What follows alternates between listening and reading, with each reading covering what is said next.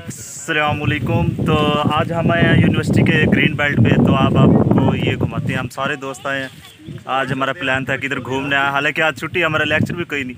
तो घूमने आए और इधर से सैर शुरू करने आ रहे हैं। चले आप दिखाते हैं बैक कैमरे से ग्रीन बेल्ट की